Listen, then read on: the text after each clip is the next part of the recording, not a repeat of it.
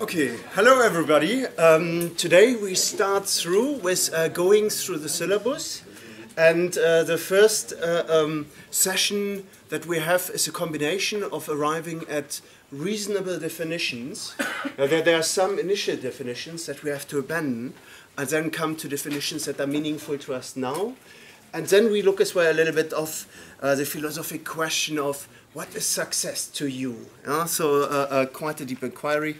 Um, the reading for this week, you, you, had that on last week's uh, um, lecture slides as well, um, is as well still up to date for next week. We, we start next week by actually defining project legacy, which is an extension of project success. So you don't have so much new reading to do for next week. This is quite a good message, isn't it? But again, at the end of the lectures, uh, there will be the reading for next week.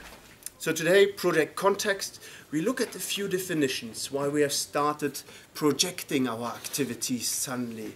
Yeah, why, why have we stopped of uh, the good old idea of setting up an entrepreneurial business and just doing what we are good in and improving our material contingently uh, or contingency?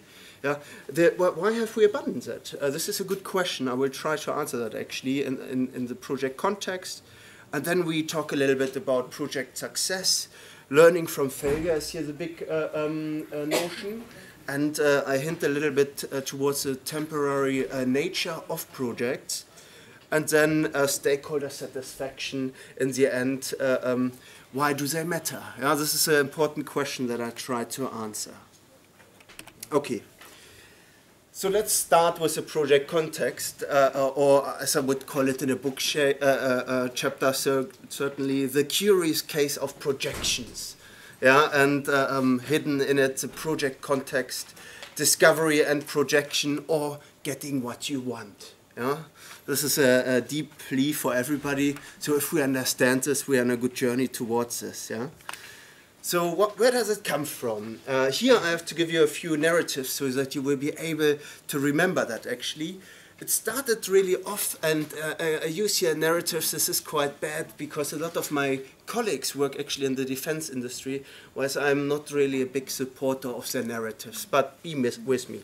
So re resource constrained delivery is really the first thing that I want to bring to your attention. And here we have a wonderful narrative. Uh, it wasn't really wonderful, the, the context where it was based, but it was the notion of the Second World War. And the British were actually attacked at the time yeah, by uh, planes that, that had certainly superior technology, range, and as well weaponry, uh, um, and attacked on a regular basis uh, uh, England and the UK. And there was one smart general. No, he was actually a lieutenant at the time, uh, um, so major ranking. And uh, he, he came to that idea that he needed to actually cope with this some way of like uh, a control tool.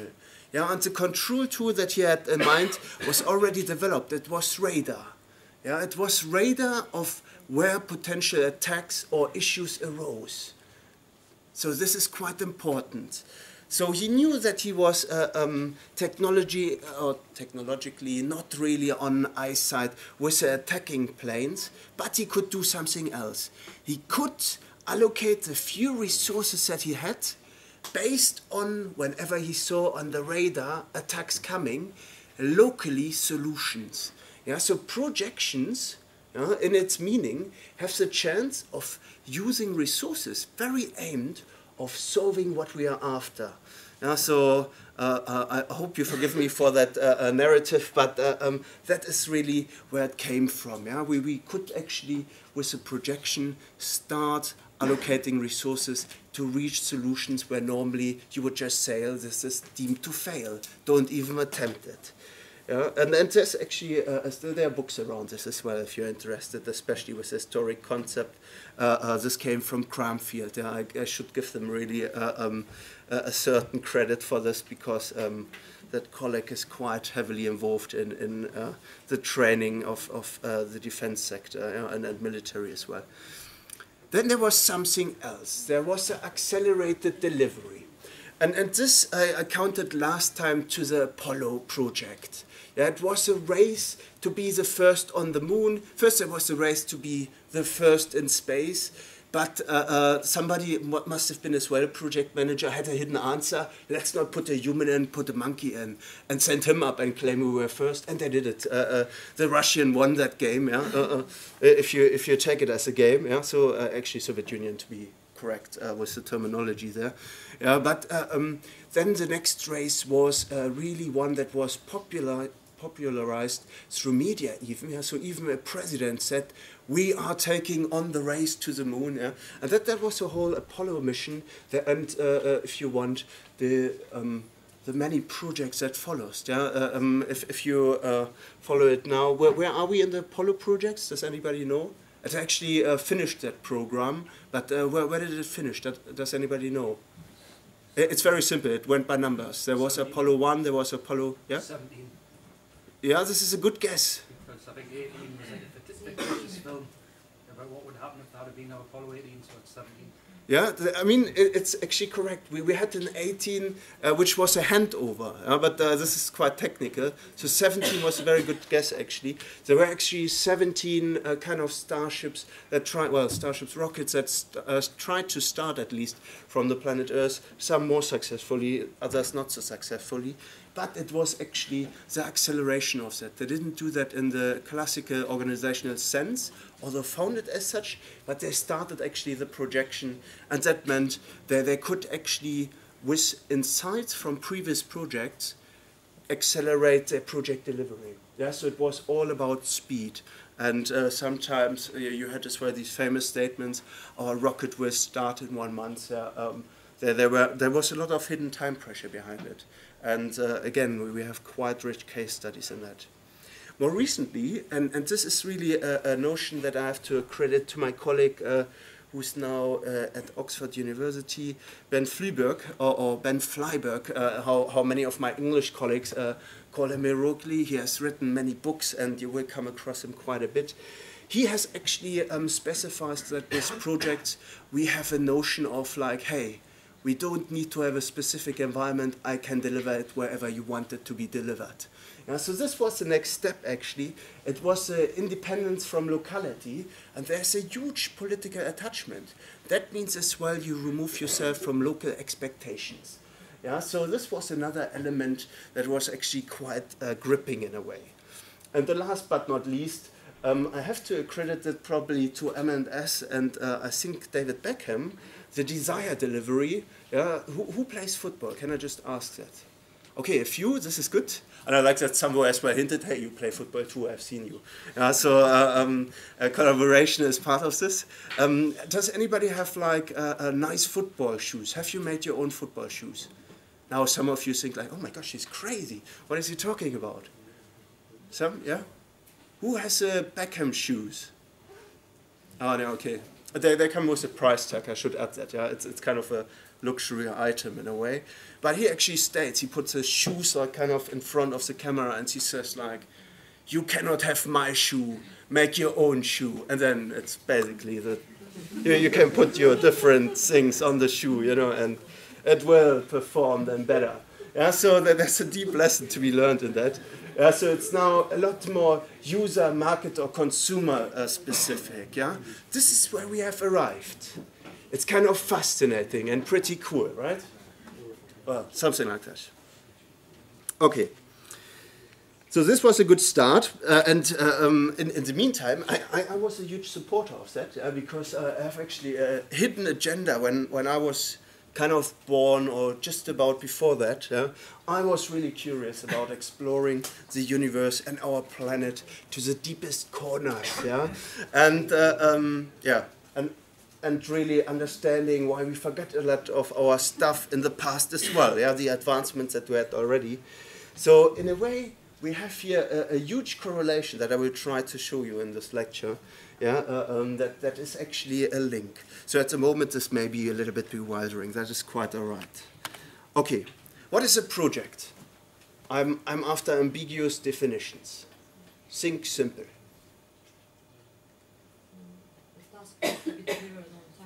Yeah, yeah, so this was good. Task to be delivered on time. Yeah, or accordingly to the program. Accordingly to the program. Hi, yeah, yeah. Okay, so we, we have already here business contact. Uh, This, this is a proper scheme. Yeah, you don't just have your project. You have actually a program of projects, and it's a task delivery. But good definition. Another uh, definition maybe. Target and objective. I like this. This is quite literally the projection idea. Yeah, this is a good good thing. Yeah. yeah. And we'll add uh, start and end point. Yeah, start and end point. We were getting closer. This is good. Together we, we come up with a very good uh, definition. I like that. Yeah? Sorry, I didn't get the first bit. A unique object. I like that. Yeah. So do you think an object in terms of product or material? Okay, okay. Yeah, this is true too. Yeah. So we, we, we see here already different notions that come in. Um, I, I give you one that I uh, that actually my colleague really liked, and I, I, I was bewildered where he got that from. But it kind of summarizes the most basic notion, which is pretty good. Yeah, a piece of work which is a one-off, uh, finite, but he really meant in in that uh, I don't think finite in its initial uh, semantic sense, or interpreted it differently with a kind of aim or target, yeah, or, or projection. I did like this, yeah, what you brought forward there. That has a beginning and an end. Yeah. This is probably true for, for most projects. The, at some point, this is kind of the guiding line. And uh, um, the, the follow-up question is then, what, what does a project manager do? And I, I kind of stuck to the same literature. Yeah? This is uh, um, now 15 years ago, yeah? so this is quite some time ago. What, what was 15 years ago? What, what was our economic climate like? Were we worried? Yeah.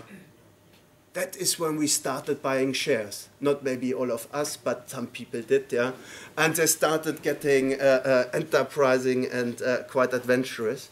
Yeah, so maybe a suitable definition at the time. And then uh, uh, managing a project really meant the overall planning, control, coordination of a project from inception to completion, aimed at meeting a client's requirement, or requirements, plural, yeah, in order that the project will be completed on time and within, notice the authorized cost and two required quality standards. Yeah, so this was probably, where, where would that be true? Is this how, like, let's think about what is a project, a good project that we have as a day to day challenge? Does anybody cook with friends? No, no, nobody cooks with friends. Okay, this is quite. I can recommend this. This is kind of a door opener. Yeah? If you haven't done that, do it. Uh, uh, cooking with friends yeah, is a good project as well. You kind of get resources. Yeah, you you mash it all up and uh, um, you know you mix it, and then something new comes out. You know, you cook it. This is quite good.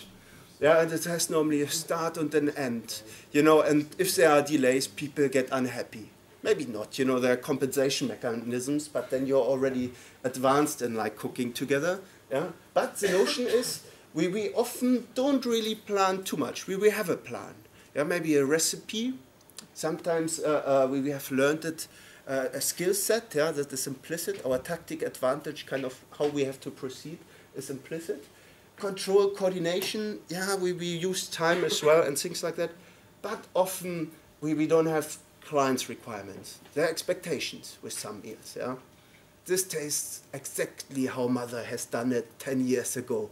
Yeah, this is an expectation that is quite high actually. Yeah, but uh, we, we don't always have that, and we, we don't always have the authorized cost either. Yeah, so we, we have actually fluctuation there. So this is already a company setting. Yeah, this is advanced from the former definition. But I, I have to tell you something very sad and it, it's kind of uh, outdated largely. Yeah, um, if, if you work today in a company setting in, in all my three favorite sectors, uh, be it uh, uh yeah, the, the third sector with uh, NGOs, charity work, um, this, this will probably not apply anymore. And uh, it's the same for um, the public sector and the private sector. Yeah, so even if you look at sectorial or, or the organization settings, yeah, how it claims to be uh, having a private interest or, or non-private interest or, or actually solve uh, or problem-oriented, yeah, you, you will actually find that that is largely outdated. Yeah, the, the truth is still within it. So don't don't get me wrong on that. So what do I mean by that? Project management traditionally, we, we have there a, beautiful iron triangle, which we romantically uh, often uh, um, summarize as delivering a project in time, in budget, and within the scope. Uh, this can be uh, um, uh, in di different papers, it uh, replies differently. Sometimes they talk about quality. Sometimes they have already adapted it. The more current ones, it's it's actually client pool. Yeah, so quality has been dropped completely. And we, we had the fin finite uh, uh, time notion. Yeah, so from a given brief or setting to delivered brief. Yeah, this is a timeline. Yeah, and below I, I gave you as well the uh, a project lifecycle if you want. So we initiate the project, yeah, we, we have everything, we are ready to go. We plan it, we kind of looked at we have the resources at the right time, and then execute it, of course, yeah, or, or implement it. There are different processes, we come to that in a second. The, the language is quite alternative there. And then there is a notion throughout we control, feedback on regular times, yeah, see that we are actually up to the projected pace, and then we have a closeout where we hand it over and we walk away. Yeah, that, that was an uh, uh, idea. In it, we had the integration of time, cost, scope, risk, human resources. Yeah, so getting people in to do it. It's one way of describing it. Uh, then communicating throughout that everybody's up to speed, that they know what's going on. Quality, and of course, last but not least, uh, uh, this was often driven by procurement. Yeah, so, some literature. Um, depending on what, what you have read, if, if you go back to the 80s, project management was actually a procurement, uh, suggested to be a procurement method. Yeah. So if you if you would deliver a project by project management, um, you would actually kind of the procurement would be from there on they are delivering whatever you want. It was the idea you have a client, you have a client representative, and he does it for you. Yeah? So there, there were other procurements. Yeah? There, was, there was as well relation-based procurement, which arguably didn't really fit with that. Okay, where, where have we moved towards? Um, this is actually the one that, that I favor personally. This is as well why it's in my reading list. Yeah? So this comes from a book that we are using. The role of the project manager involves the management of the definition and delivery of the project for stakeholder success in its contextual focus. Yeah, so this sounds a lot more flowery. Yeah, can I just ask, has anybody worked on a project where you actually had the chance to define your project? The conceptual level, steer it a little bit? Okay, two arms, this is not the majority. Yeah, I, I can tell you now that um, there seems to be like a hidden career path. Often you get pushed in a situation where you are starting on the former project side, yeah? On the delivery side. So uh, I'm not quite sure why that is. Um, in, in the company where I went at a graduate training for one and a half years, and we started on the conceptual side to actually understand uh, uh, what we are trying to deliver, which was actually quite illuminating to me. But different companies have different um, scenarios behind it. And maybe in your company you should make the case as well, starting on the conceptual side and then on the implementation side, that you know where expectations and kind of the goals come from. Yeah. Okay. So um, there, there's another notion with this. Uh, we, we have normally the organizational boundary, which is based in, yeah, so this is the uh, explanation of its contextual focus. And there's certainly a division uh, between the inner and outer. In the outer context, the organization is positioned in a sector and an economic and social system. And we, we work actually quite a bit with this when we come later on to the stakeholder management next week. Yeah? And then we have the internal context. This is the history and how organizational shapers and respondents have interpreted and institutionalized their practice. What do I mean by that? That is how people have done it. And if you have a problem, they expect you to come to them. They will tell you how they have done it in the past and expect you to do it the same way. The problem often is with this route, sometimes it works. This is when you are not in a very uh, um, yeah, chaotic uh, uh, environment or business place, yeah, when, when you have a stable economy. But if you don't have that, you can do exactly the same thing like he told you to do and still fail. And that is actually where we have arrived very often. Sometimes you don't even get to carry the project out. So it's quite dooming. Yeah? So let, us have a look what we have as an option. The, the option is, of course, to adapt our project management style to the environment. I showed you this before. We, we have added here two stages really um, in, in, in this, and this is what we will focus in this lecture on. We have added here an additional project life cycle, and we have enhanced it to its whole maximum. This is my preferred life cycle. There are other literature pieces that have like shorter ones or, or a little bit unfolded ones. Yeah, I really like that they actually divide the concept from feasibility and definition, that those are three different things. And uh, we will come to terms a little bit later why this is actually quite interesting to divide. But just to talk you through, yeah, it's a recognition that there is an interaction with the business and general environment, that we have different drivers. And in the project, it depends very much where your project is based. Yeah? Is it strategic change internally? Are you setting yourself or the organization and your project management office up for new projects? Then it may actually be a very different game. Yeah? So success criteria will actually differ. And uh, technology is another one. Requirements design, yeah, with clients. It's a design project? Yeah, bespoke for a client. Yeah. Uh, um, then uh, there's a commercial emphasis. Yeah. Are you driven by a market? Yeah, do you go by market forces? Have you positioned yourself with products in a certain market segment? Yeah, do you see that quite competitively? And, and how can your supply chain interact with that? What procurements do you actually have? Do you have like procurement methods? Probably you do. But uh, uh, so there, there are many notions to look at, and we, we go through that this semester, of course. And then last but not least, how can we actually functionally organize it? Yeah, that we have the right structure in place and as well the right people to support us. Okay, a lot to take in. Um, this is as well where I had the definition from. Management of project involves managing definition, delivery, and so forth. Yeah, the definition earlier. That was taken from this book. Yeah. Okay, different uh, um, industries have differently advanced to this, but actually by now, luckily, uh, we have all arrived there. I, I, want to show you a very contrasting picture, and you have to stay a little bit with me at that point. It's long quotes because they don't. Yeah, I've noticed another thing. Yeah, as we have moved on in that environment, the definitions became a lot longer, so I have to apologize for that. Uh, that shows you maybe as well that there are new problems. Yeah. So this is actually what what stands CIC for. Does anybody know? It's a very British thing, so I don't think everybody knows this. We, we have a European uh, uh, equivalent, but uh, um, that, that is a British one. CIC, I take guesses? Industry Council? Yeah, super. Oh, you, you, you come from the construction industry, isn't it? Yeah, so, uh, um, yeah, so it's correct.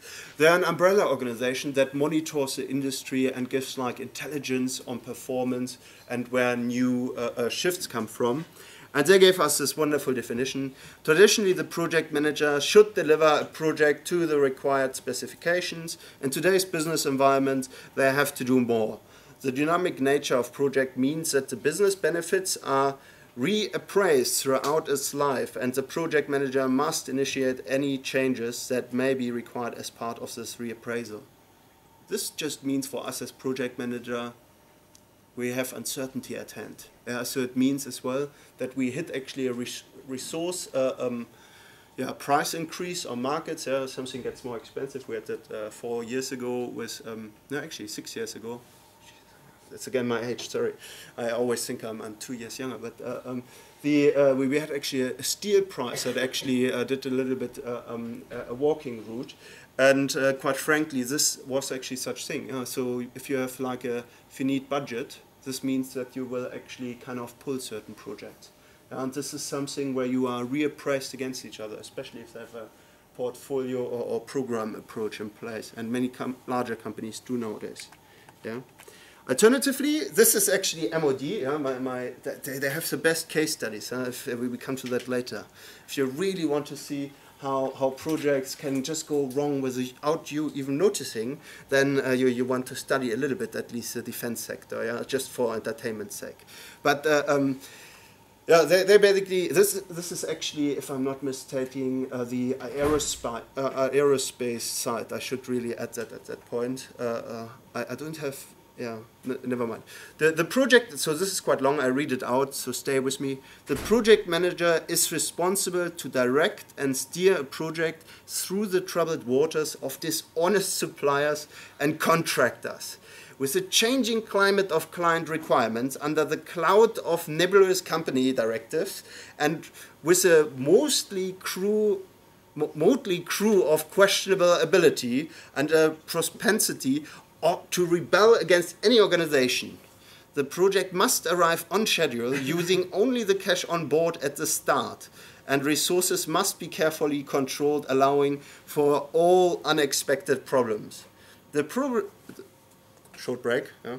The project manager has this responsibility with senior officers on board who justify their presence by ordering the crew without his knowledge, leaving him with only the authority that he can maintain through the strength of his personality, untiring efforts, and unbounded enthusiasm to the cause, knowing that should the project be wrecked, Due to the quick sense of changing authority, the company will without hesitation hold the project manager unquestionably and totally responsible. Yeah? So this is quite quite dark and dooming. I, I hope it was a little bit entertaining too. Yeah. So uh, again, my recommendation: defense sector. There they have wonderful stories. Yeah. It's it's not always this uh, grim. Uh, there, there is a notion of that. So yeah. Uh, so um, this was actually a, a project that was completely plucked. Yeah, they designed new planes, and then the parliament voted against it. They didn't get the budget. Yeah? So it was all conceptually planned. We have even uh, um, we will come to that later. We have a plane carrier without planes. Now this is quite interesting. Uh, uh, but yeah, this, this comes basically when you are in a certain organization. So there are hidden politics that impact at a very high level on your projects. Okay, now we have to recover from all these definitions and make a little bit sense of this. Yeah, this is quite complicated, as you can tell. So here, the, the next title is really How Dreams Turn into Reality, yeah? or, or a, more uh, pragmatic notion, the project life cycle. Yeah?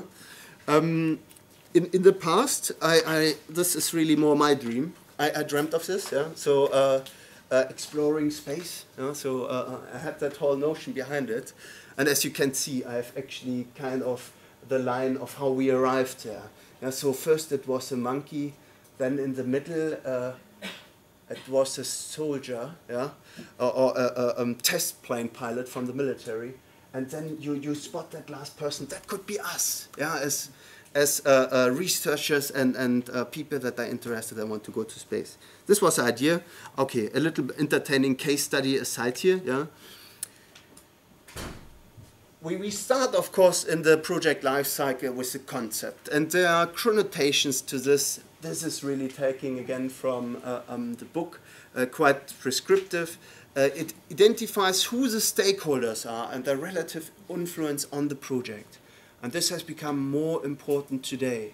Yeah, we, we have seen actually many projects, especially recently when, when we come to the later part, you will see that there, there seems to be a determining factor on us. Um, within that is as well the uh, stakeholder expectations and values that they hold high. Yeah? Identify, of course, the project constraints. This is often a consequence and investing technical and financial issues and how they relate to the stakeholder expectations and uh, um, how we can actually manage them. Yeah, so there's as well customer and client requirements. Yeah, does, does the client actually try to sell this service? Yeah.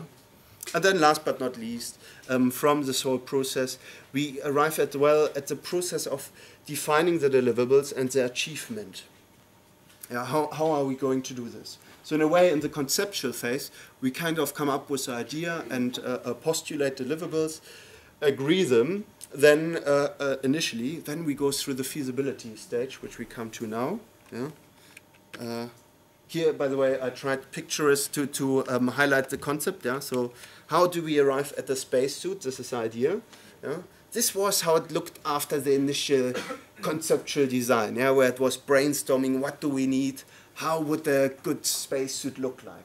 By the way, I've stolen that from some uh, uh, computer game. Yeah? So there, there, was a similarity. It's, it's not quite that suit, but uh, we, we come to the reality. So then we, we have the feasibility uh, phase. And this is normally an initial conceptual stage where you start asking around how much will it actually cost? Can you deliver this? So you go into supply chains yeah, and do the research.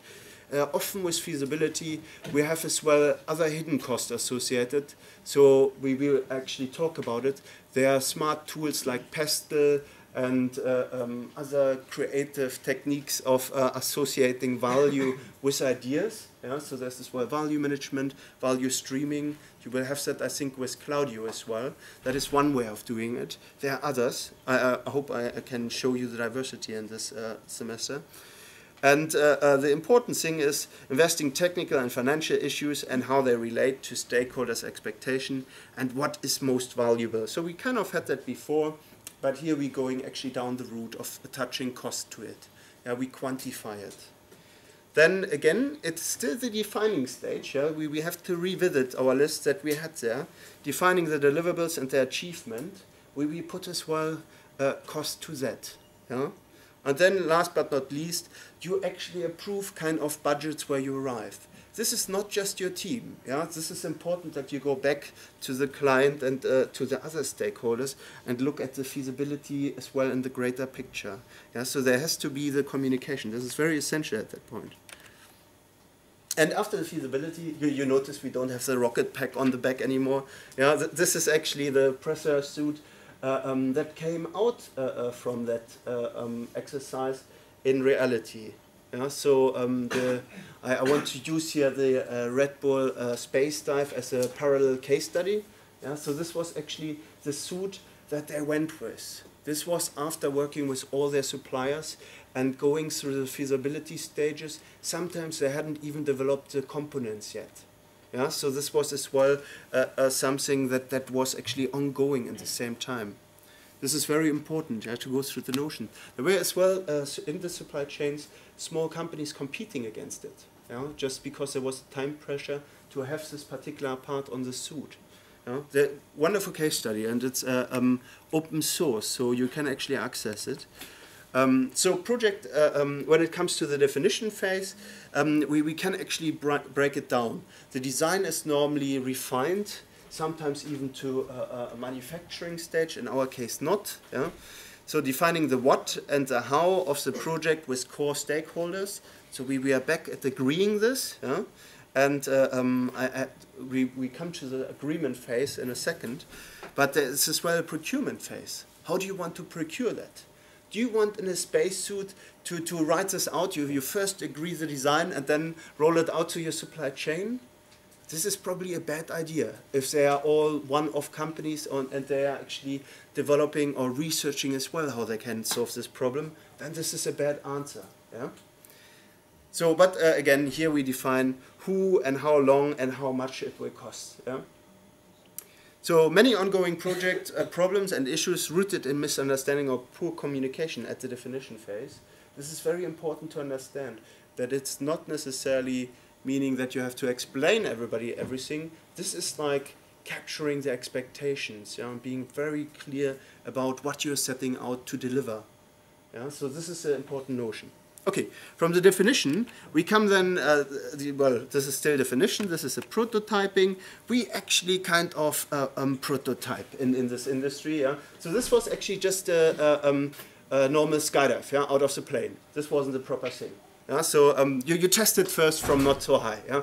Can everybody recommend it as well if you want to try flying? Try it from the ground first. Yeah? Don't, don't you know, never mind.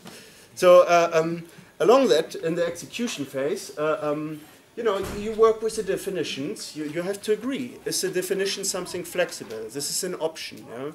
If you have a client that is very proactive, like those guys from, who, who, was, a, who was the client in this project? Yeah. Yeah, that, that was the right answer, yeah? So, national, uh, yeah, no, it, it's, Here's a question for you. This is a little bit the joke uh, aside. What is it? Is this astronomic or astrologic? Oh, okay, you did know it. Okay, uh, it's it's uh, it's a pity. I had recently somebody saying like, Robert, I, I didn't see you in astrologic terms. And I was a little bit buffeted about that because I never used that word. But uh, um, yeah, okay, there, there you go. Uh, but uh, here are different uh, um, stages to be agreed. Yeah, you can plan and manage it accordingly. Definition may actually shift. Yeah, so with NASA, they adapted it actually because they wanted a spacesuit that could be used as a um, well, we come to that in a second. Returning back to planet suit. Yeah. And uh, um, then uh, the, the control was as well adapted. Yeah? So with control, there's not always one way of controlling it. This is very important to recognize.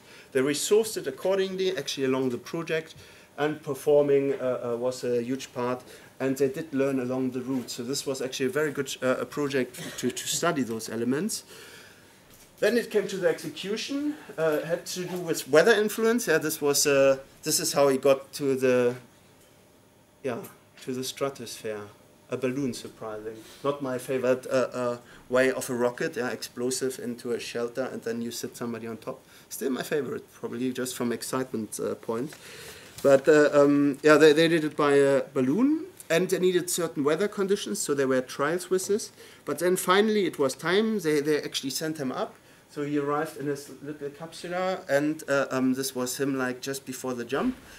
And execution, sorry, uh, it's a little bit lengthy. Th this is a terrifying point. So if you do like a, a space traveling and you jump out of the plane, gravity ev eventually will bring you back, but you have like roughly a minute where you don't really know if you're moving. You have no reference points. Yeah, and this is always quite exciting, and I just wanted to give it a picture as well.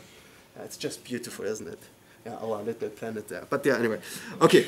Uh, then, of course, he, he kind of landed it as well without getting into. he made it exciting. He landed like close to. Uh, um, uh, yeah, basically electricity cables. Yeah, so uh, uh, if you have like um, high voltage lines, don't try to land your uh, um, skydive close to it. This is a big rule. Yeah, so um, but he, he, he knew this obviously, and then yeah, this was kind of close. No, it wasn't close out, but basically, it was operational to a degree. Yeah? So they could then analyze the data and uh, um, decide where they had to adjust it and then close it out. Yeah. So it's actually simple. This was it. This is actually the semester kind of summarized. A any questions? No. Any any questions? No. Okay. Well. Um, kind of all being said, yes, and this was an interesting project. There, there, were a lot of hidden issues as well with it. It was actually a program, but uh, I still think it, it's a, a, very powerful uh, uh, input. So something doesn't really work out.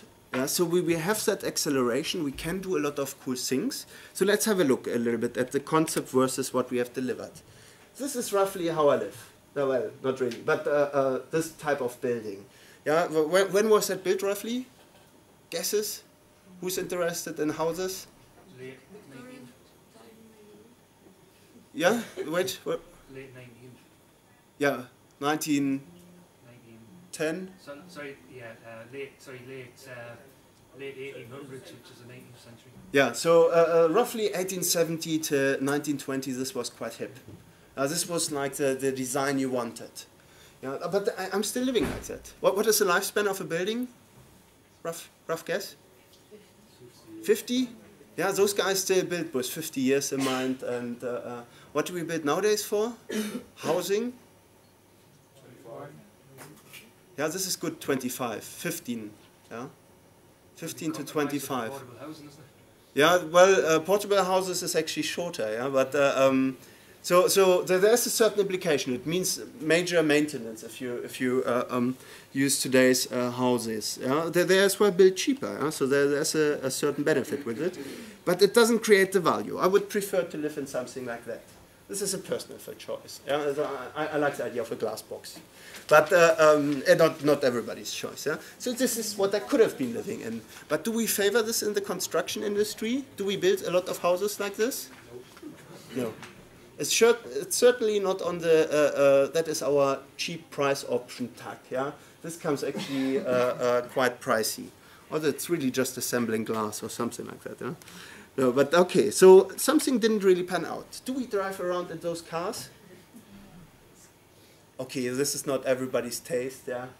No, no, we don't. Yeah, they, they are around. The, the answer, uh, this is, by the way, a heroic translation. Yeah, think about it. That was a concept, and, and that is what we thought. Yeah, so uh, there, there is a notion here. Yeah, Uh, um, I have a reverse, so this is automotive. Then I have the reverse. Yeah, this is when when I was kind of born.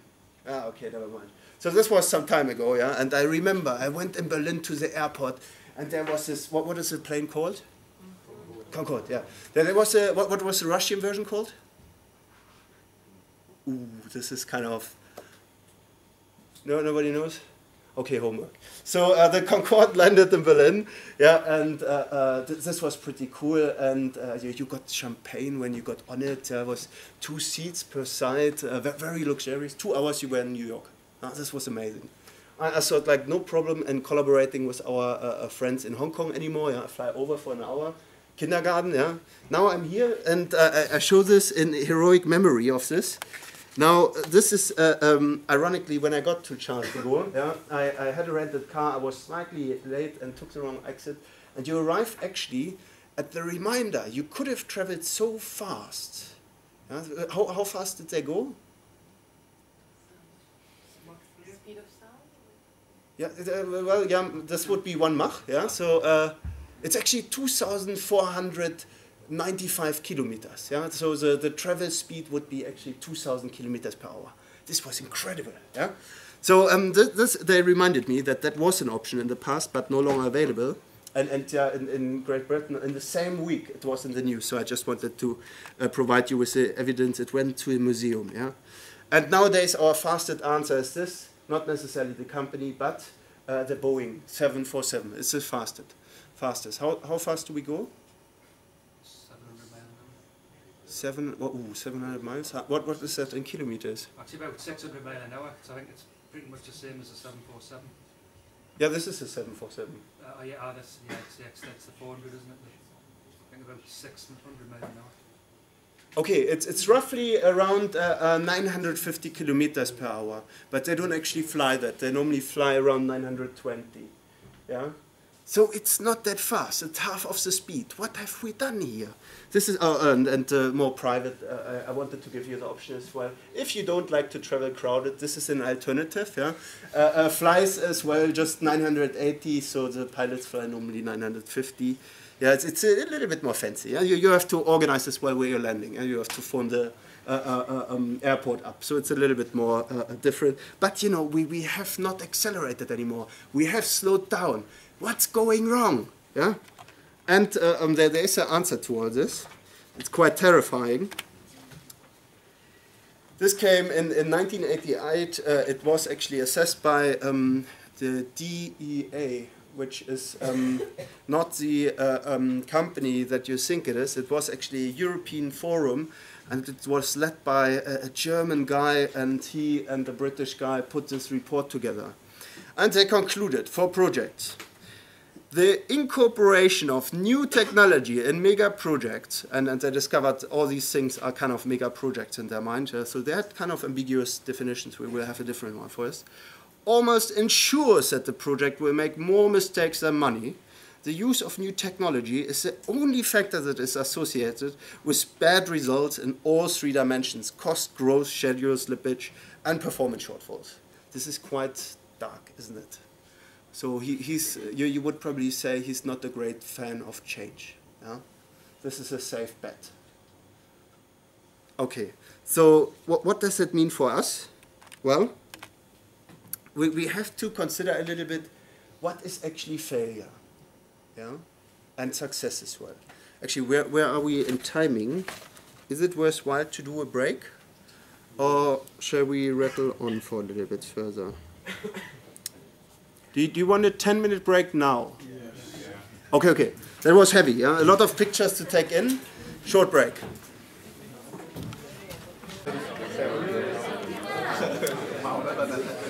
Okay, let, us get started again. Uh, now we, we kind of like uh, arrived at that quite.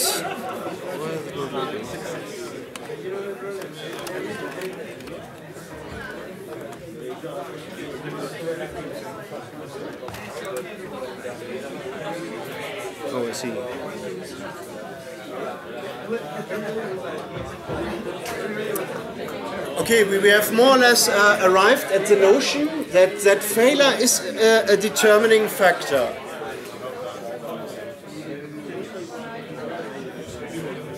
Okay, Sh shall we discuss it in an open, like uh, if, you, if you have burning questions that we that are worth discussing, we, we can always do that as well. Actually, last time I, I didn't get any questions. Do me the favor, yeah? If you if you have questions throughout the lecture, write it on a little note and, and give it to me at the end of the lecture. I will read them out. Yeah, so this is still my promise, and uh, I had uh, uh, not a few of uh, questions last time that actually came to the front. A lot of personal questions uh, are lined up in, in person, which is fine too. But uh, uh, use the medium, yeah. So uh, it- it's there for you. Okay, so we, we kind of concluded uh, um, that there are many notions of failure that kind of have created, on an emotional count nearly, a certain fear and risk averseness. Yeah? And that there are deep lessons to be learned if you're interested in uh, psychology or as well um, like our sensoric uh, uh, notions of the body. We actually don't have a sensor for danger. Yeah?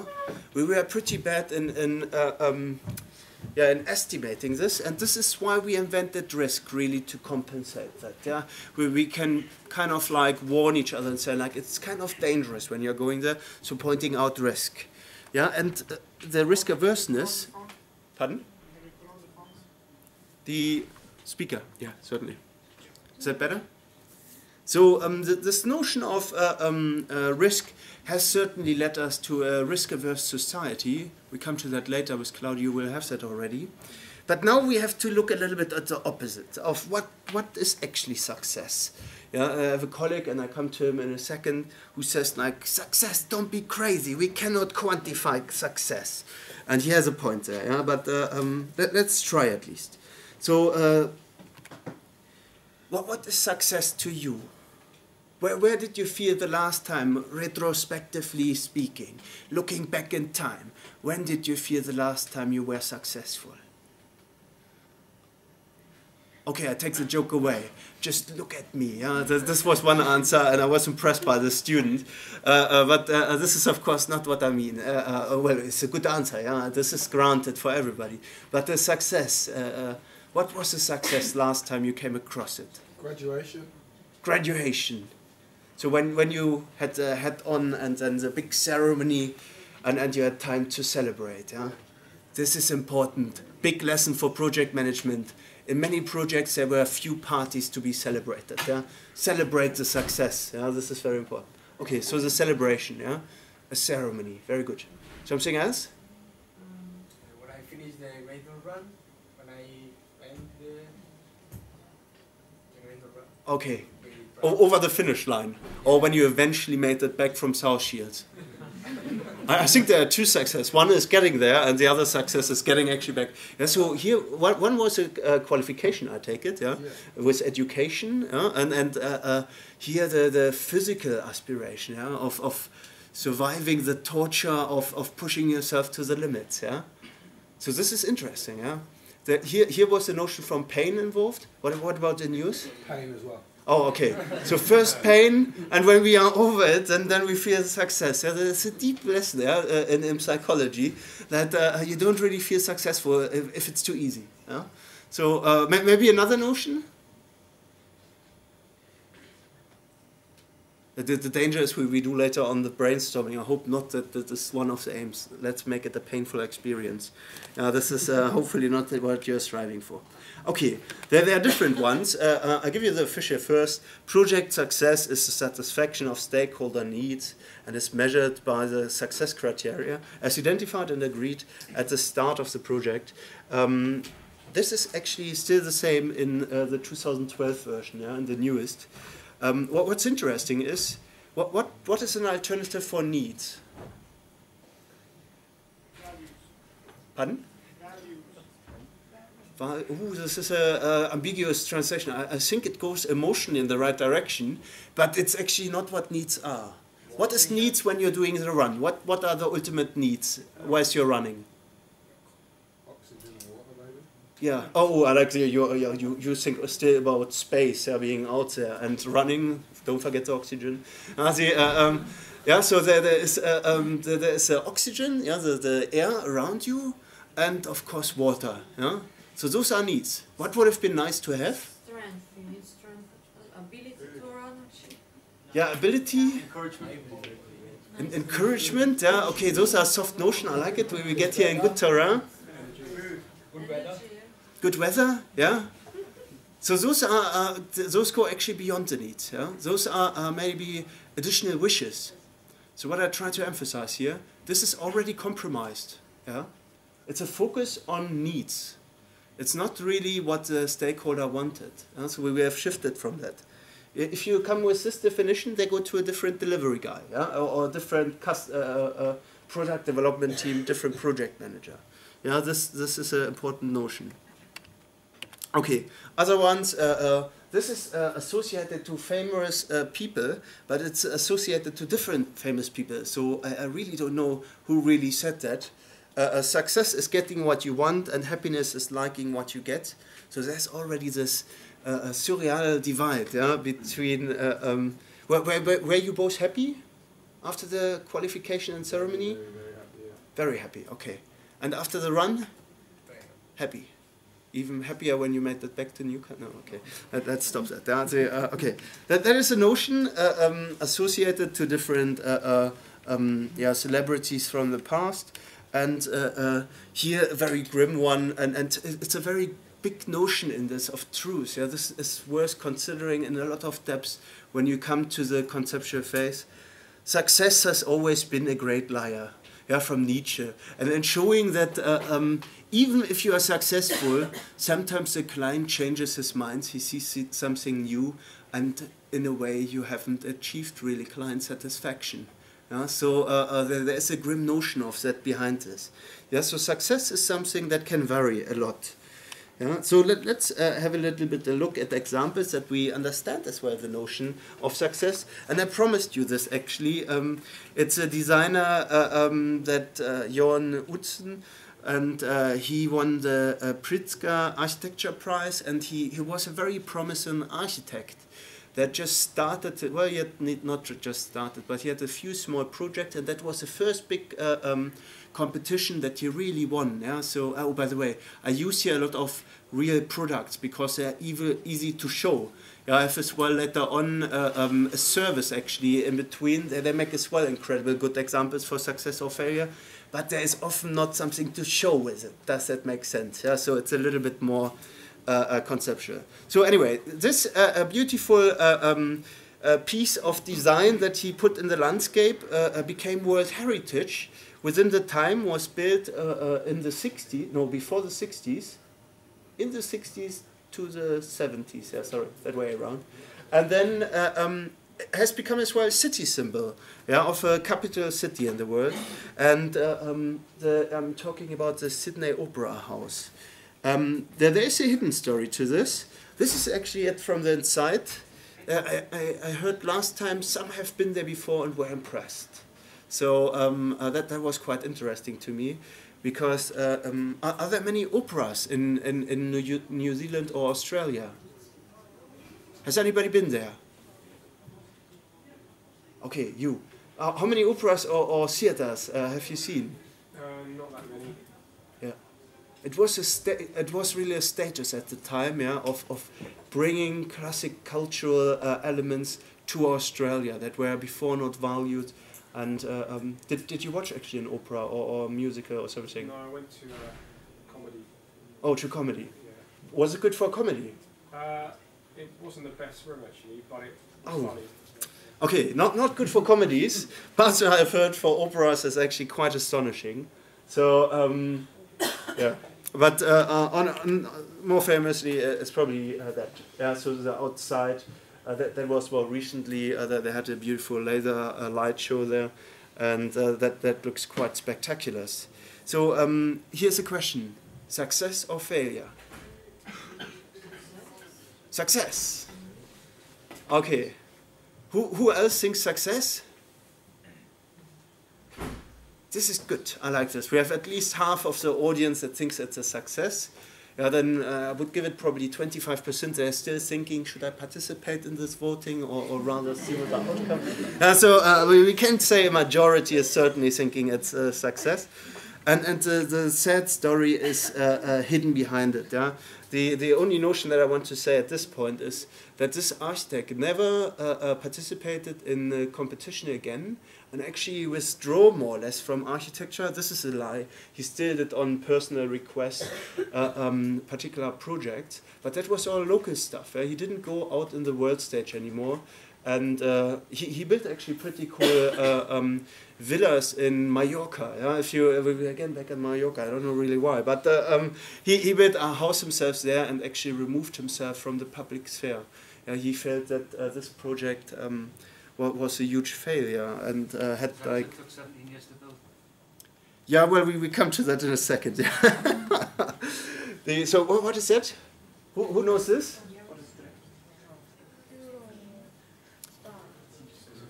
the Eurostar. This is a train. What what is it uh, um, doing? Yeah, crossing the channel. It's a channel tunnel, and uh, um, what what does it do? What does it now do? This is amazing. Uh, this is one of my favorite projects. I had heated debates if that is a success or failure. Uh, success? Who thinks success? Okay.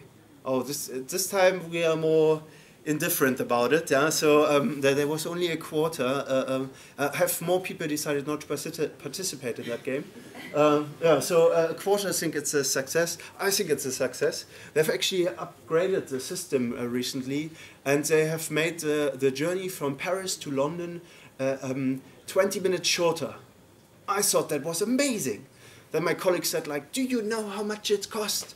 And, uh, and the joke was then they should have they should have recruited the best looking models, male and female, free champagne every journey. And after 20 years, we would have still had a lot of cash left. Yeah, so um, he was very cynical about it. Yeah, so this is a bad evaluation. It shows you that my colleagues are slightly uh, have different aspirations. Let's put it that way. Yeah, but uh, um, there, there is a big notion behind it. Yeah. So, oh, who, who well, I mentioned this. Yeah, this is not such a cool uh, uh, photo to show. Yeah, but it was actually um, the UK inland uh, um, tax revenue. They, they had the new IT system, amazing thing. Shouldn't even cost that much. Yeah, the, the contractors negotiated around 100 million, mostly hardware to be fair. Yeah, so uh, they, they had to put physically stuff in, and uh, um, they never specified what the initial budget was. That, that is maybe already an indication where it went wrong. And uh, um, here is the key for it. Yeah, so I've just named the, the top uh, um, four really. Oh no, I forgot the Thames Barrier. But uh, um, so Sydney Opera started off with a budget of 2.5 million. Was supposed to uh, take how long? This this was the right answer actually. Do you remember how long it was, Sydney? 17 years, I think the 50s, the 70s, wasn't it? Yeah, it was supposed to be actually two to five years. They knew that there would be challenges, yeah, but uh, um, it took 17 years, yeah, and uh, um, they started with a budget of 2.5 million and arrived at 87 million. This is not when you have a very happy client, quite frankly. Thames Barrier was quite interesting too. Uh, started off with a budget of 23 million, then went to 400 million. And this is a channel, channel tunnel budget, and this was pointed out basically as an alternative of um, you know models serving champagne along the train for free. You know, this this was an alternative uh, uh, use of the uh, 11 billion. Yeah.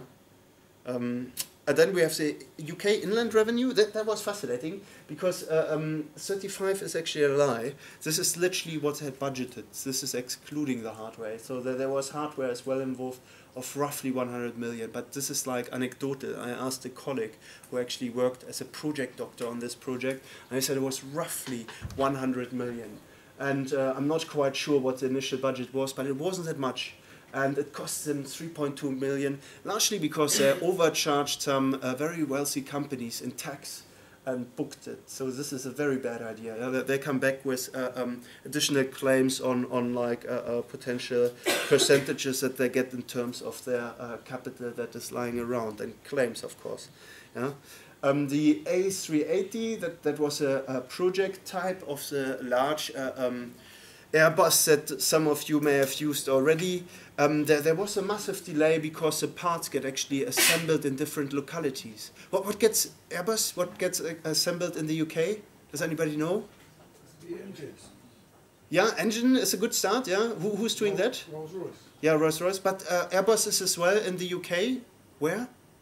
They have their own football team, but this is kind of geeky. It's in the, in the fourth league if you if you look anywhere. Yeah, but uh, um, okay, it's in, in, in Wales. Yeah, we rebuilt the wings. This is pretty cool. Yeah?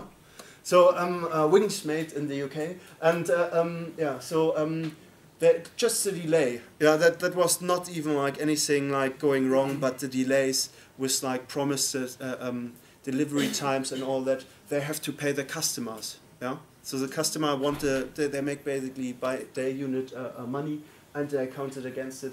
Uh, 6.4 billion, but Boeing helped us uh, this year with an even more impressive one. There, was a small incident. Luckily, nobody got seriously hurt.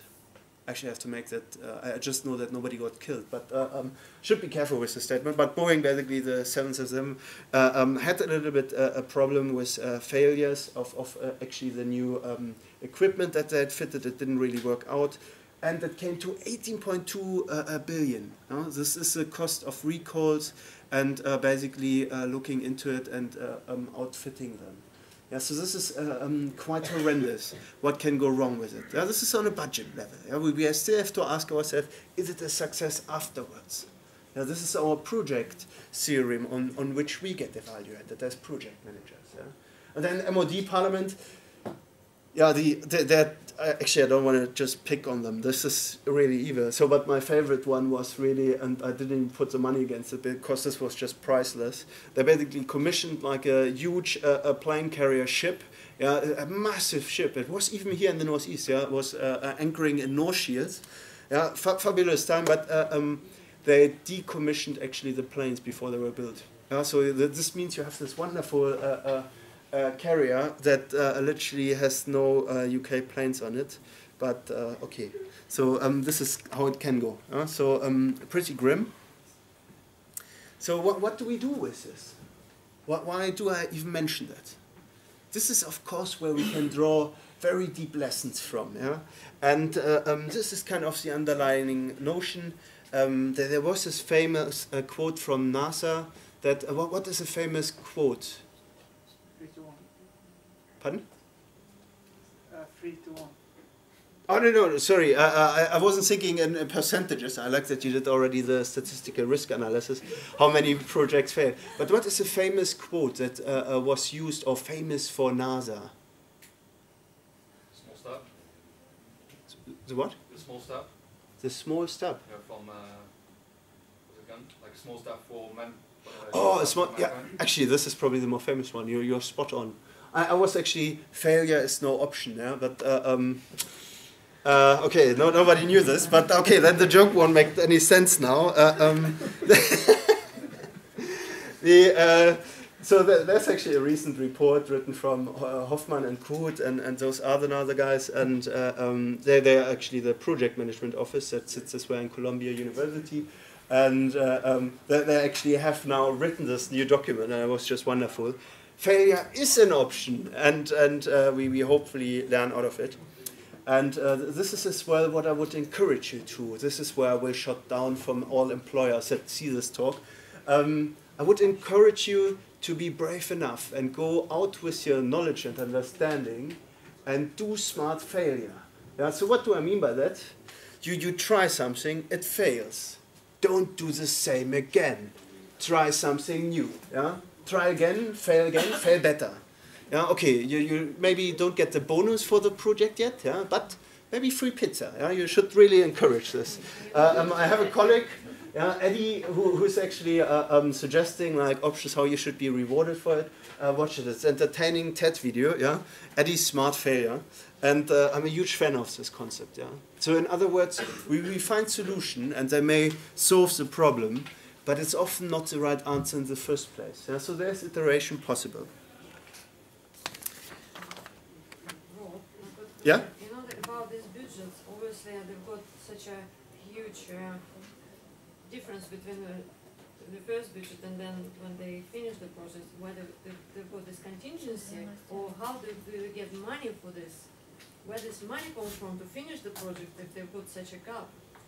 Yeah, this is a good question, um, and I, I can give you an answer because now we have actually again this is uh, uh, another uh, professional that has specialized on projects to realize when they run over budget, what should we do? And this is a this is a new consultant. Yeah, this is quite hip at the moment, and he does IT. Well, he's focused on America to be fair, and he came to the uh, um, uh, to the UK. It was about stock market, and, and they wanted to line them up with uh, faster cables and improve the performance, which would have meant that certain well, it had to do with algorithms in, in, in a nutshell. And he did actually the evaluation. Should, should the taxpayer pay the additional two billion? Yeah, to but this wasn't yet the final budget. They knew this. They knew what to do for now, but there was probably to come more. And then he evaluated it for them and uh, figured out that actually the two billion that they had spent, and that was budget, was already uh, um, gone. And to actually go on, they would have to spend four times the same.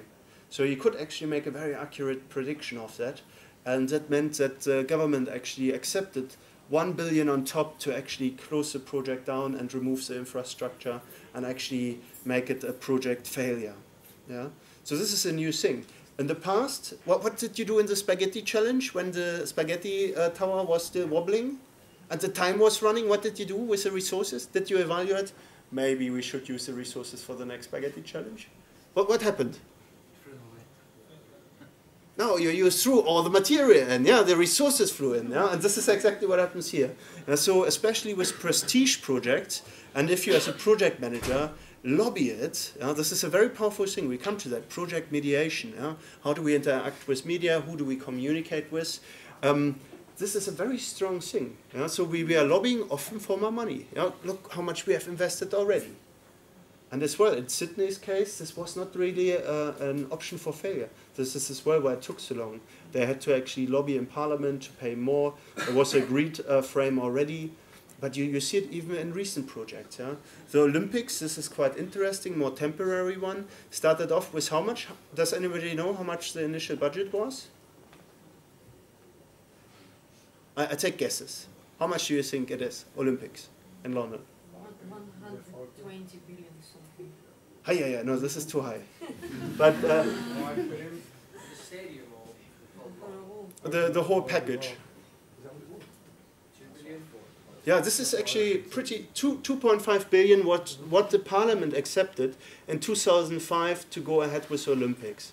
How much did it cost? Seven seven point five before they even started. How much is it costing now? Thirteen point eight at the moment. Yeah. So there, there is a strategic misrepresentation. Cynics say it's lying. I get bullied when I say lying, so I say strategic misrepresentation. People are more happy with that.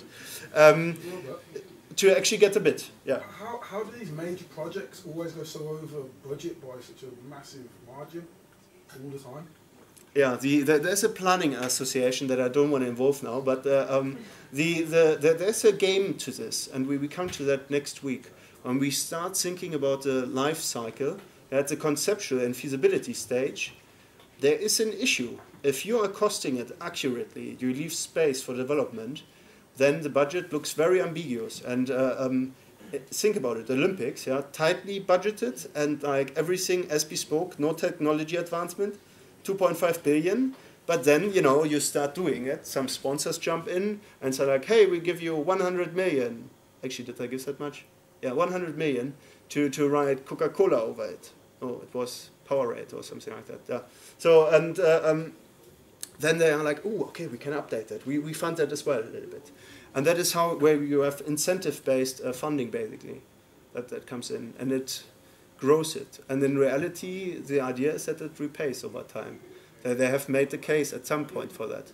But it's often quite difficult to really quantify. The UK government has as well for that reason. Um, uh, we, we have a major project association in the UK and they're advising. So, for example, on the Crossrail project, they were actually using a mathematical formula which assumes that uh, um, you actually will arrive at 75% more of the initial planning costs. So this is uh, just tailored in. You come up with your real planning cost, and they just like literally put 75% on top for evaluation. So this has a bad dynamic. Yeah? There, there are different reasons from major project to major project. Yeah? In, in some, it's negotiated on grounds of uh, um, political means. Yeah, I don't want to say that there are certain fees involved along the way. And in other cases, it's unforeseen uh, um, issues with supply chain. Yeah, so uh, in a linear world, the supply chain exists. Yeah, in, uh, another example that I'm very familiar with, October, uh, um, when we uh, had in Berlin the um, new city center being built, Potsdamer Platz. Uh, Berlin rented all the train carriages for cement, all in Europe. Yeah came from everywhere over Europe. This is just what nobody else can foresee. If you have your project and you want one uh, carriage uh, uh filled with uh, cement, you know the pricing for it. This carriage is not there anymore. Yeah, so there, there are finite elements that are very difficult to forecast. This is when we come to the complexity uh, theorem yeah, of, of the environment. But uh, there, there are certain issues with that. We will work through it. But good question, thank you. Have I kind of answered it a little bit? Yes, yeah, you have. I have It opened Pandora's box there, yeah. So seems there's a lot more to it It's actually. like a massive trend, though, isn't it, throughout time?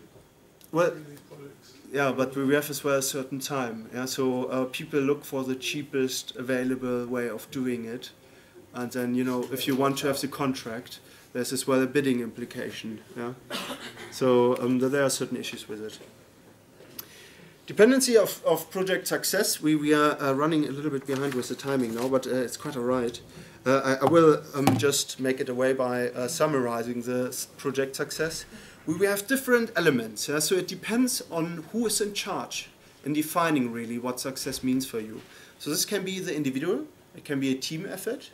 In your case, in the project that we are doing together, it will be a team effort. The company, stakeholder expectations of quality, of course.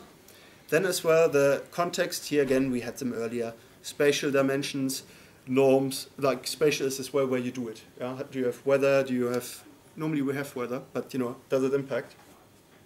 Norms chosen or, or put upon you. yeah? So this, there, there are different elements and we, we have many more. To, to actually divide success, uh, to just make you think, think a little bit about it, there's managing the team successful. This is having a great experience. Like enjoying it in a way, uh, um, and and coming to success for for everybody really, and and successful management of a project. This is a different thing. This is achieving the the goals and objectives. That's very specific. It's like performing to budget, for example, or if the budget changes, then you have to have a methodology, a project methodology that kind of announces it at the beginning. Yeah, so it can be, for example, I've seen that. Uh, uh, I have a lot of constru- oh Eurocopter is a wonderful example. They had a helicopter that could like fly on high mountains to, to bring people out that like kind of lost uh, got lost in rock climbing and couldn't be flying, flown out. And they knew that they didn't have a system yet, so that was a development uh, uh, project for the rotor, yeah, because it's it's like thin air and helicopters have certain issues at certain heights. And uh, they, they knew that that would cost something, so they didn't actually fit, uh, fix a budget to that element. Yeah, so um, with, with uh, basically shifting, for example, to parts specific uh, uh, budgets and performing within that remit and saying, like, okay, here we have a development budget, this can be a very powerful tool to still having the, the cost implications and performing to the delivery tools. Yeah? So it has as well to do with the scope, how you set it. Yeah. Um, then uh, achieving greater benefits for the project's uh, uh, business or supply chain. Yeah, this is uh, um, actually benefits management. We, we have that in a separate uh, uh, lecture. And then achieving long-term strategic advantage with projects. Yeah, I've separated it there, but it should be really together. And creating prosperity and visionary legacy with a project. Arguably, the case example for that is the Olympics.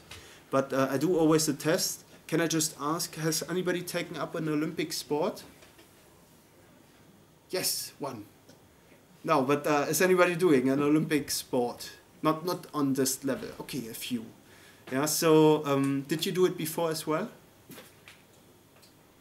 Yes. No. Okay, you have really started. So in a way, sometimes it does work.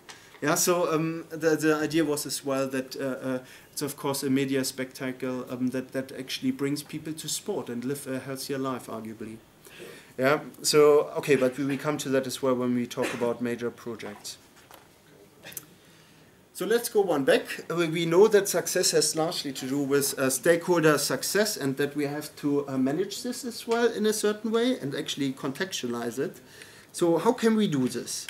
But very quick, stakeholders, uh, um, this is actually um, a bad keyword. Stakeholders, when you go into a Google that hasn't been used by an academic like me, for, for me the first definition is actually the right one because I use it a lot.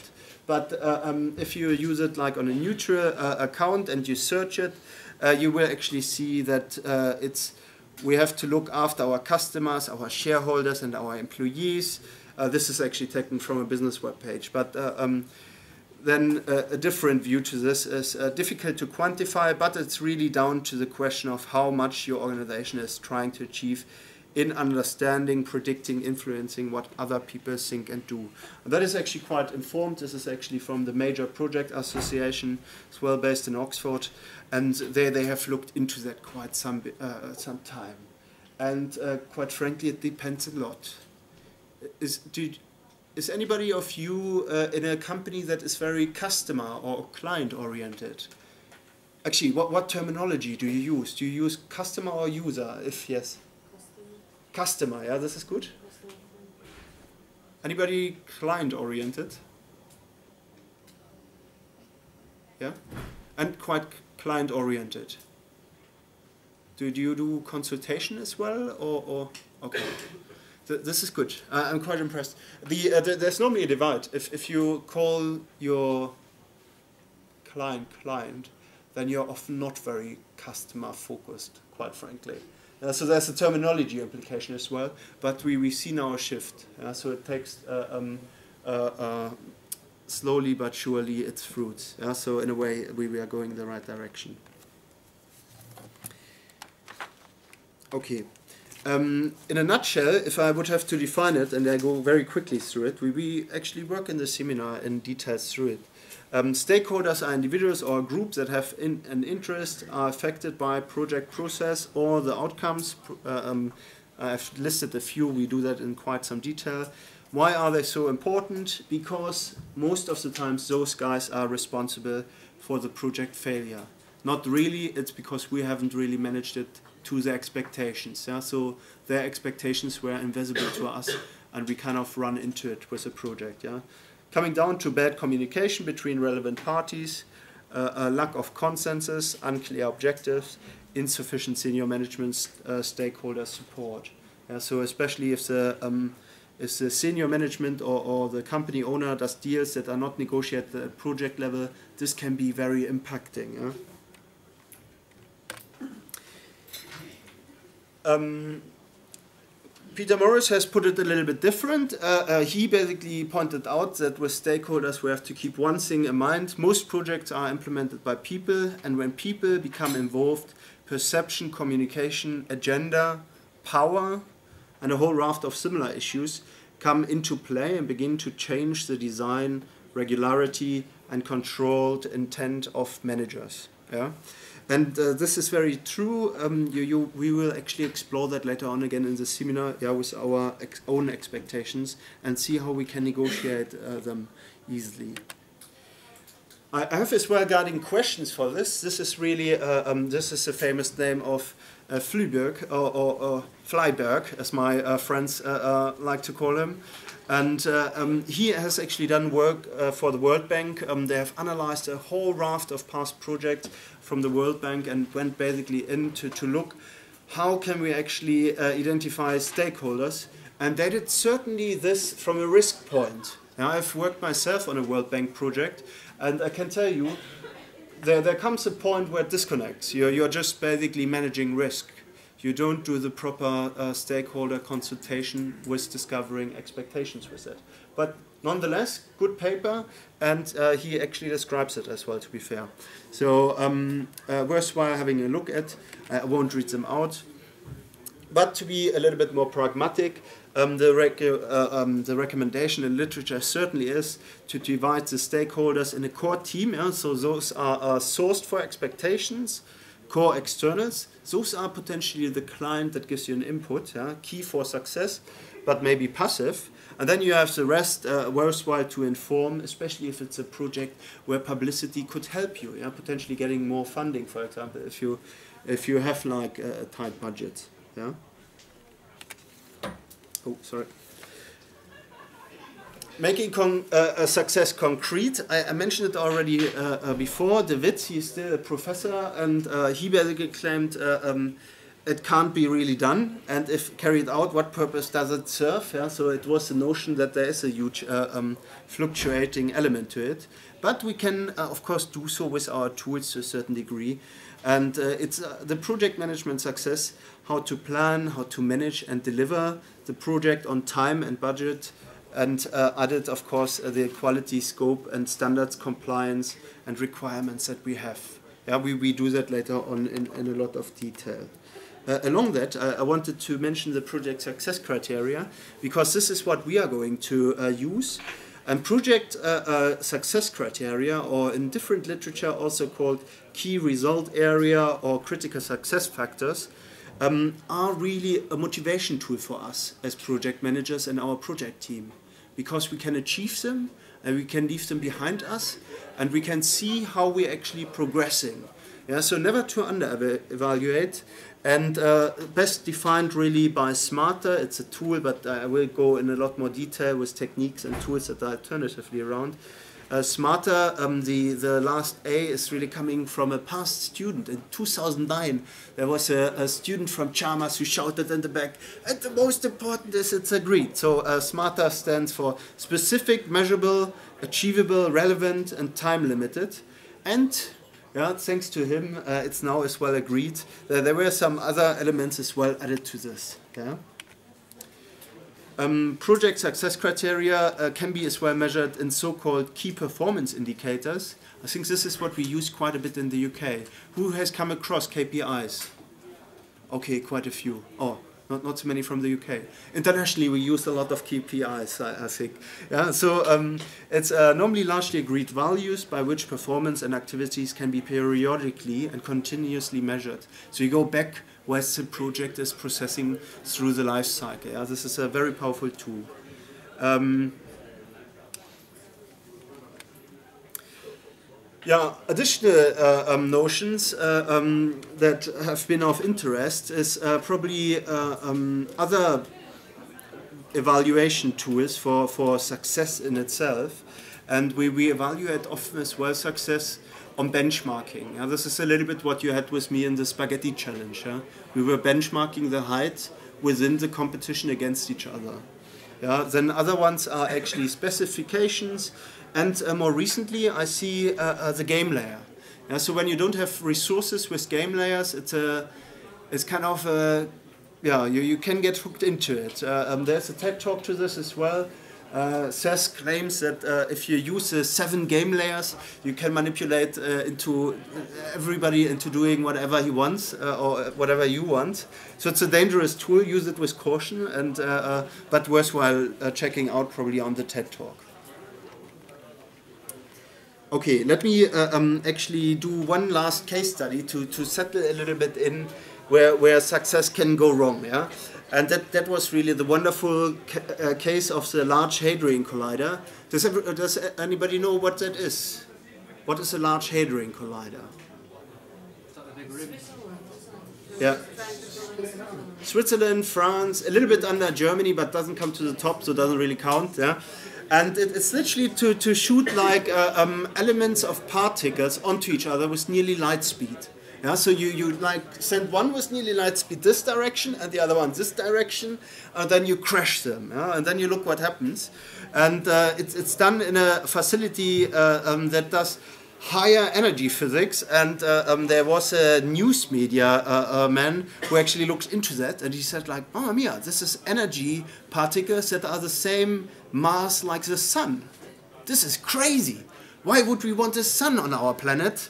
And then uh, uh, there, there, were like beautiful uh, um, uh, notes coming out uh, in the news, yeah? in the newspaper.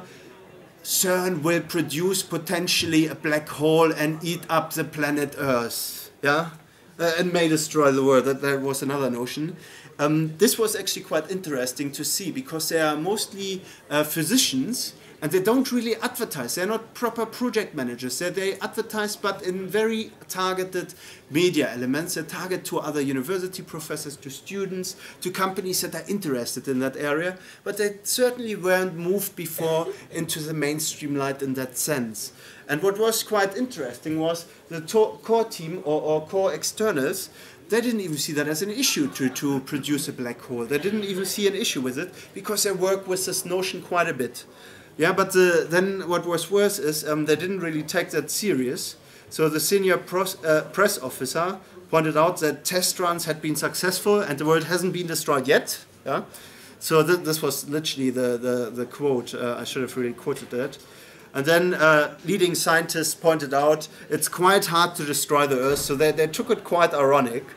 And uh, um, now we, we have discovered kind of the uh, boson uh, uh, Higgs particle, or, or the, the, the, particle that was described by uh, Higgs. Um, and uh, uh, the rhetoric has dumbed down a little bit, yeah, or numbed down, not dumbed down, but um, certainly the concerns has been gone. this costs them quite a lot of additional money. Yeah? We, we have now side effects. Who knows Brian Cox? A few? Yeah, he's a professor in physics, and he's lobbying non-stop on BBC, yeah, national television for science, for understanding. This is a direct result of this this happening. Yeah, before he was not like in the media; he was actually a physics professor. Now he's involved in media. Yeah, so projects have their own spin. Be aware on the areas that you're actually playing in. Yeah, this doesn't necessarily happen to every project team, but uh, I would say huge project success. Some people would describe that again under the um, iron triangle with budget versus quality versus uh, um, the timing as a failure. Yeah. So that is a game that we are playing. More, more in the seminar. Any questions at that point? Okay, still a little bit vague. We will make this vagueness go away in the seminar and uh, uh, build our own project. Yeah? If you have questions, just come to me. Yeah. I'm not actually here. I've got to go home on Friday, so that means I miss I miss a seminar. I'm concerned that I'm going to be missing out on really vital information. I just wanted to know what I could look at or for. Uh, it's uploaded, but uh, you, you have to. Um, is, it really detrimental that I miss?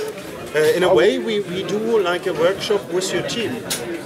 So um, th this is kind of bad, but um, you, you, can just have you uh, worked through the seminar notes that I gave you. Yeah, I've been going through them little bits by bits. I mean, I've been meeting with my team, and we're like, obviously, because we've got to do a presentation on Monday, which I'm not going to be here for either. So I'm coming back on Wednesday, you see, because I've got a family issue. But uh, it's quite alright. But uh, just make sure that they address it and that they incorporate your notes.